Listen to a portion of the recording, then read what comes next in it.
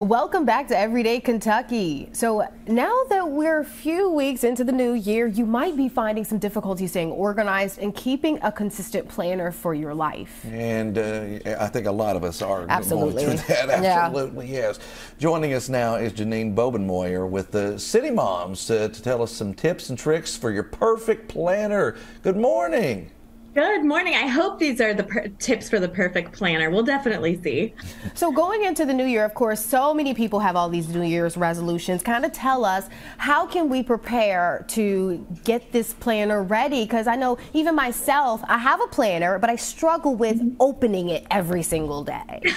totally understand. Tip number one is that studies show you are 50% more likely, five zero, to actually crush your goals if you're writing them down. So that can be, you know, in a physical planner, kind of one of those hard copy planners, or it could even be like in your phone if you've got um, a notes or calendar app in your phone. So 50%. So what I recommend is starting first by categorizing your goals or tasks. That's really crucial. So start of the week. Use your planner to jot down into categories things like home, business, school, and drop those to dos and tasks under there. For me today, like I have um, projects and I have planning. So get those into categories.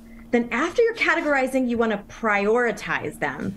And that's using the big three method. So, this is something that's really well known by organizers and planners. And it basically is a way that you're identifying your top three things you need to do that specific day. In fact, they're so popular right now. That big three idea is Post it has recently come out with these really cute um, kind of like planning options, and this is their big three. So, great way to just jot down your three and put that right into your planner.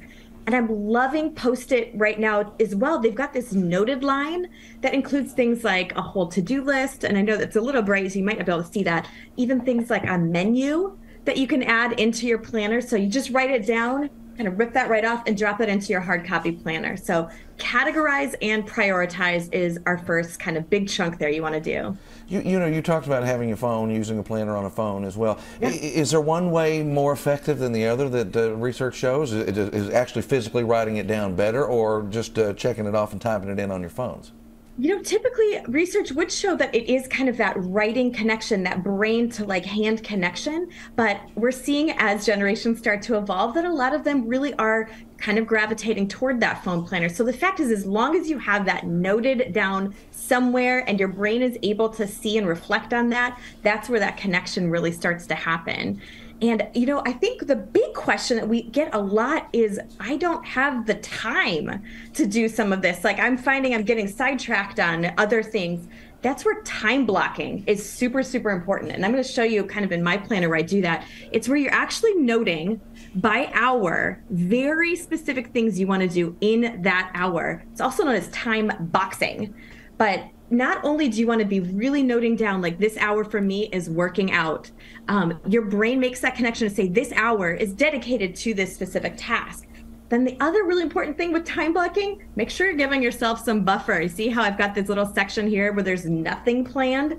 That's because i mean all of us have things we need to do. Like you might need to take um, go and get some water. You might need to run out and grab the mail. Whatever it is that you need to do make sure that you're blocking off that time for yourself so tell us a little bit about how we can quickly get in touch with you if we're looking to, to just learn more about planning.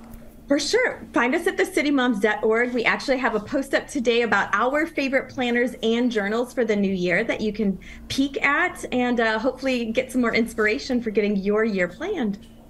All right. Well, thank you so much, Jeanine. We appreciate you letting us know how we can really plan out the rest of the week all the way to the end of the year, really. Yeah, definitely. Thanks so much, guys. Thank you. Everybody.